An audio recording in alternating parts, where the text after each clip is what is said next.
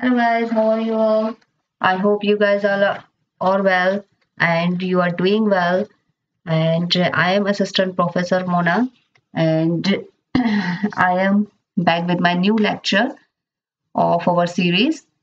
Recently, I have started our series of Victorian writers and this is the fourth lecture of our series. Today we will discuss the Thomas Hardy and this will be short and sweet biography of Thomas Hardy.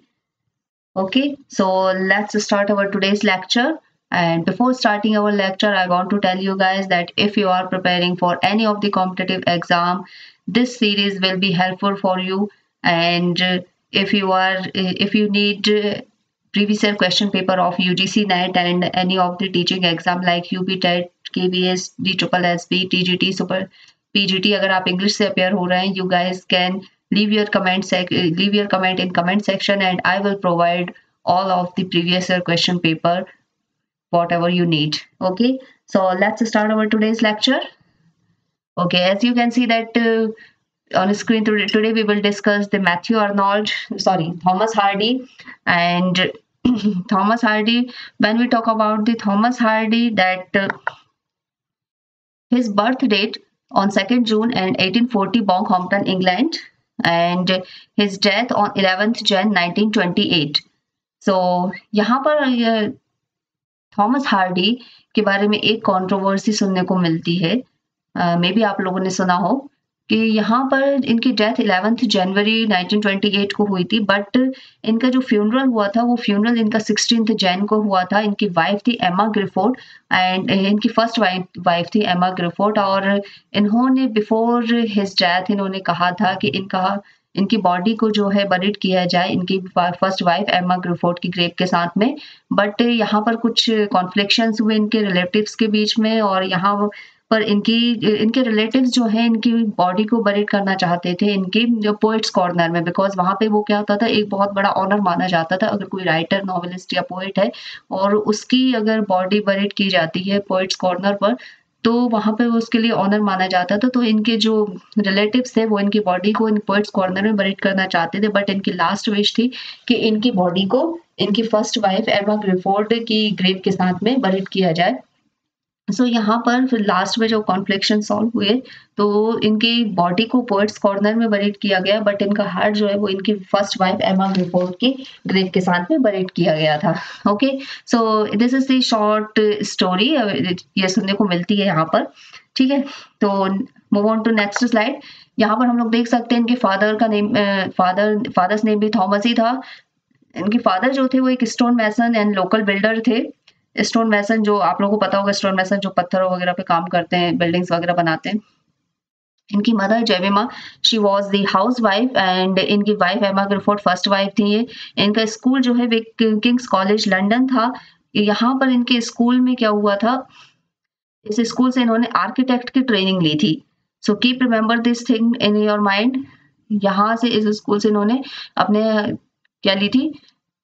Architect की training ली थी। ठीक है, इनकी university के बारे में इतने कोई कुछ खास इन्फॉर्मेशन है नहीं है। नेक्स्ट इनके फॉलोअर्स अगर कहे जाए तो इनके फॉलोअर्स में Ezra Pound W H Auden और फिलिप लॉर्किन जो है, वो लिस्ट में टॉप पर आते हैं और इन्होंने डी एच लॉरेंस को बहुत ज़्यादा इन्फ्लुएंस किया था। डी एच लॉरेंस की अगर हम बात करें तो डी एच लॉरेंस खुद एक बहुत इंपॉर्टेंट राइटर है।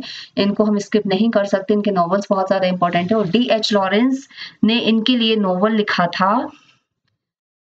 He wrote the study of Thomas Hardy 1936 में रिटर्न है ये डी एच लॉरेंस ने लिखा है। और ये पूरा नॉवल जो है, ये वर्क जो है, ये दिखाता है कि थॉमस हार्डी ने किस तरह से इनकी लाइफ पर अपने इफ़ेक्ट किस तरह से इनकी लाइफ को अफेक्ट किया था और किस तरह से ये इंपॉर्टेंट होते हैं इनकी लाइफ के लिए। ठीक है? आई होप ये सारे पॉइंट्स आपको क्लियर हो गए होंगे एंड आपको समझ आ गए होंगे। Move on to next slide important points हैं इनकी लाइफ के बारे में कुछ। फ़र्स्ट ऑफ़ ऑल यहाँ पे फ़र्स्ट पॉइंट हमको जो बताता है वो ये है कि ये फ़ेमस थे अपनी किसके? वेसेक्स पोएम के लिए।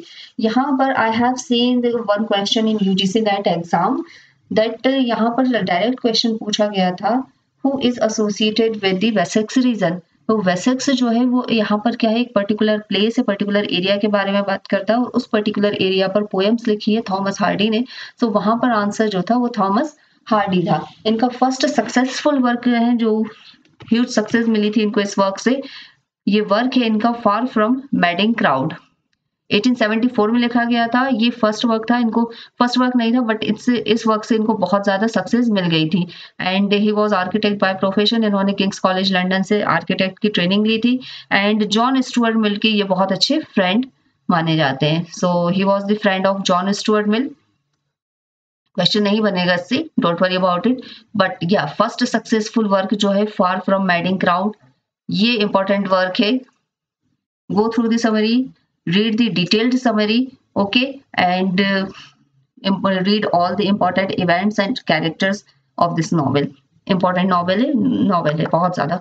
नेक्स्ट है हम लोग इसके वर्क के बारे में बात करते हैं. फ़र्स्ट वर्क है इनका poor man and the lady ये इनका फ़र्स्ट वर्क है कंट्रोवर्शियल है बिकॉज़ यहाँ पर एक ये जो वर्क 1867 में रिटर्न है poor man and the lady ये इनका फ़र्स्ट वर्क था बट इस वर्क के बारे में कॉन्ट्रोवर्सी ये है कि इस वर्क को पब्लिश कराने के लिए he was tried hard he couldn't publish this work.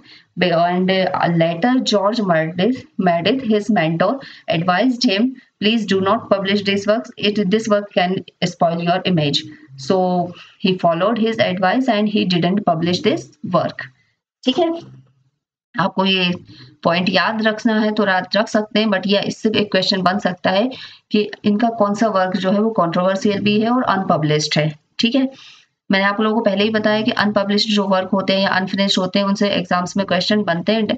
आप लोगों ने यूजीसी नेट एग्ज़ाम में देखा होगा यूजीसी नेट एग्ज़ाम में एवरेज क्वेश्चन भी पूछे जाते हैं। कुछ क्वेश्चन में बहुत ज़्यादा डीप होते हैं बट कुछ क्वेश्चन बहुत एवरेज होते हैं।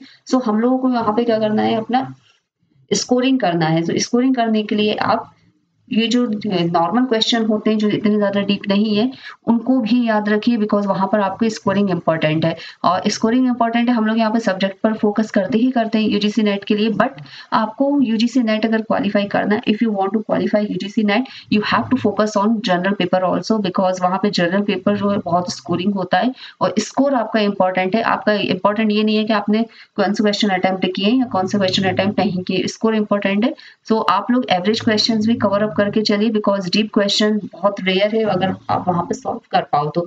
इसलिए आप एवरेज क्वेश्चन पूरा 80 परसेंट कवर करके चलो एंड जनरल पेपर पर बहुत ज़्यादा फोकस करो। Okay move on next work है इनका ट्रम्पेट मेजर 1880 में रिटर्न है हिस्टोरिकल नोवल है क्वेश्चन बन सकता है। थॉमस हार्डी द्वारा written historical novel which novel is historical novel written by Thomas Hardy ठीक है? याद रख सकते हैं हम लोग। नेक्स्ट वर्क है द ग्रीनवुड ट्री 1872 में। इसका सबटाइटल ज़रूर याद रखिए। A rural painting of Dutch school subtitle से क्वेश्चन बनते हैं। ठीक है? Far from madding crown as I told you very important work go through the summary and keep all the important points in your mind. The return of native read करके जाइए। May be question बन सकते हैं। The mayor of Casterbridge again very important work है। 1886 में written है। इससे UGC NET में फ्रिक्वेंटली आस्ड क्वेश्चंस हैं। इसका सबटाइटल याद रखिए life and death of man of character and इसके बारे में इनके जो कैरेक्टर्स हैं, बहुत इंपॉर्टेंट इंपॉर्टेंट कैरेक्टर्स हैं और बहुत इंपॉर्टेंट इवेंट्स हैं। तो कैरेक्टर से भी क्वेश्चन बने हैं। इसके लूसी कैरेक्टर हो या मेयर ऑफ़ कास्टर ब्रिज हो, उनकी उनके साथ ट्रेजेडी क्या हुई थी? वाइफ को कितने साल के लिए छोड़ दिया था? उनकी पूरा पूरी स्टोरी जो है, आप गो थ्रू दी समरी पढ़िए उसको और याद रखिए। Okay move on to next word the woodlanders important है, इससे क्वेश्चन देखे जा सकते हैं। Go through the summary Wessex tales 1888 poems हैं एंड इनको इनको उतना पढ़ने की ज़रूरत नहीं है but Tess of the d'Urbervilles ये मोस्ट इम्पोर्टेंट वर्क है। Subtitle a pure woman faithfully presented 1891 में रिटर्न है। मोस्ट इम्पोर्टेंट वर्क है। Read the summary and keep the important things important characters important events keep thing keep this things in your mind Jude and obscure again very important work याद रखिए। Summary पढ़ना है, जो work में important बता रही हूँ, वो वर्क इंपॉर्टेंट्स हैं, और उनकी समरी जाइए, पढ़िए, और उनके इंपॉर्टेंट इवेंट्स और पूरी स्टोरी इनको याद रखिए बिकॉज़ यहाँ से अंदर से बहुत डीप क्वेश्चन एग्ज़ाम्स में बनते हैं।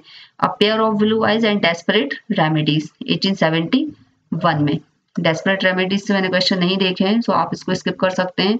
A pair of blue eyes cursory पढ़ लीजिए समरीज इसकी और एक बार एक वर्क और है जो मैंने इनको आप, आपको बताया नहीं है ऑन लिबर्टी ऑन लिबर्टी लिखा था इन्होंने 1924 में। ठीक है? Move on to next slide short stories हैं how I built myself a house 1865 and the three strangers और भी शॉर्ट स्टोरीज हैं बट हम उनको स्किप कर सकते हैं। ये story how I built myself a house एक बार एक एग्ज़ाम में मैंने क्वेश्चन देखा था इसलिए मैंने इसको यहाँ पर कंसिडर किया है। ओके सो आप इसको याद रखिए। ठीक है? अब यहाँ पर एक स्टोरी और है इनके बारे में। जब एमा ग्रिफोर्ड मैंने आपको बताया जाए told you Emma Gifford was his first wife तो इनकी सेकंड वाइफ कौन थी? इनकी सेकंड वाइफ जो थी वो एमिली फ्लोरेंस एमिली ना, उनका नाम था। और she was thirty nine years younger than younger than him so so, ये चीज़ आपको याद रखनी है। सेकेंड वाइफ के साथ में इनकी बहुत ज़्यादा कोई स्टोरी फ़ेमस नहीं है। बट या इनकी जब डेथ हुई थी तो इनकी डेथ जो होती वो अटैक के कारण हुई थी 1927 में। और फ़र्स्ट वाइफ इनकी एमा ग्रिफोर्ड जो है वो 1874 में इनकी डेथ हो गई थी ट्रामेटिक अटैक से। ठीक है? तो ये इनके बारे में कुछ इंपॉर्टेंट पॉइंट्स थे इनके इंपॉर्टेंट समरी थी। ठीक है? नेक्स्ट हम लोग बात करते हैं इनके पोएट्री कलेक्शंस की। तो poems of past and present 1901 में रिटर्न है। बेसेक्स पोएम्स 1898 में। यहाँ पर याद रखना, यहाँ पे बेसेक्स पोएम जो है वो 1898 में रिटर्न है। बट हम लोगों ने यहाँ पर अभी देखा था बेसेक्स टेल्स जो है वो 1888 में रिटर्न है। Don't confuse between these two works poetry collection हो गया। नेक्स्ट लोगों ने, इन्होंने ड्रामा लिखा था डायनेस्ट थ्री पार्ट्स में रिटर्न है 1904 04 1906 एंड 1908 तो यहाँ पर आपसे इस पर क्वेश्चन बन सकता है कि dynast drama who had written the dynast drama and ये कितने पार्ट्स में रिटर्न है और इसके पार्ट्स जो है वो कब कब पब्लिश हुए थे। Okay guys so This was the our lecture on Thomas Hardy. It was a sweet and uh, short and sweet biography written by him. Sorry, I, it was a short and sweet biography narrated by me, Mona, assistant professor Mona. Okay, so okay, guys, thank you so much, and I hope you guys will show your love to me. And uh, till then, you keep watching my videos and keep learning and. Uh, just to focus on your study and uh, qualify your exams. Okay? Okay guys. Thank you so much. Bye bye